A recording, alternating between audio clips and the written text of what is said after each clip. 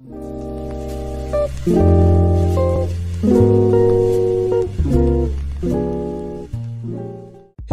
dear viewers, welcome back to the channel Basic Home First Aid. Today I am going to show you how to treat a muscle cramp.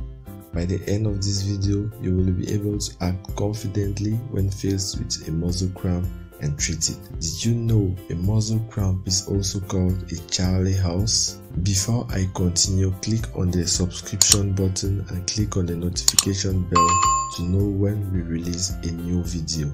A muscle cramp is a sudden painful spasm in one or more muscles. It often occurs in the legs, mostly during sleep, and can also occur after strenuous exercise due to build-up of a chemical waste product in the muscle or from excessive loss of fluids and salt from the body through sweating or dehydration. Some known causes of muscle cramps include exercising, overuse of muscles, pregnancy, exposure to cold temperatures, especially cold water, tending for long period of times, sitting for a long time or putting your legs in an awkward position while you sleep, low levels of potassium, calcium and other minerals in your blood, being dehydrated which means that your body has lost too much fluid, taking certain medications such as antipsychotic drugs, birth control pills, diuretics, and steroids. Lastly, other medical conditions such as peripheral arterial disease, kidney disease, and thyroid disease. Your aim to approach such a casualty is to relieve the spasm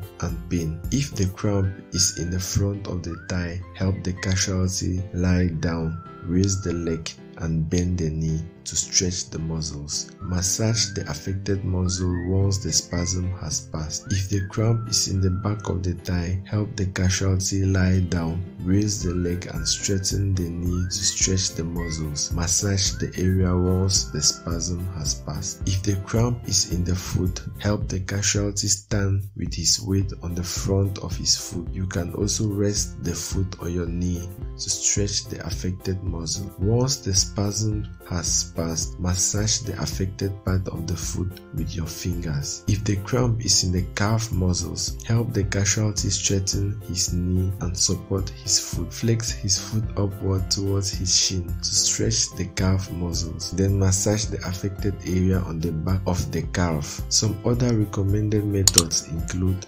taking a warm bath to relax the muscle or apply a warm towel on the tense muscle. Using an ice or cold pack.